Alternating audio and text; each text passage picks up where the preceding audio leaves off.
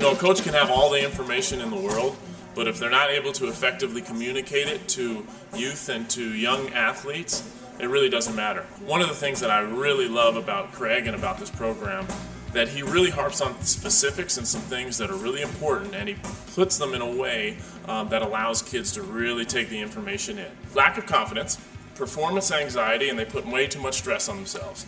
And as a former player and coach, I can attest to all of those. I've done them myself, uh, and I've seen many, many athletes do them as well. And one of the things that really stands out about the Mental Toughness Academy and Craig Sigl's program uh, is, is how it actually touches on those specific areas of weakness. The Academy is, is really designed to allow um, young athletes to take the information and use it. We have had the benefit of sending a number of athletes to Craig Sigel. And every time we do, he sends them back more prepared, mentally tougher, more ready for performance than I've ever seen.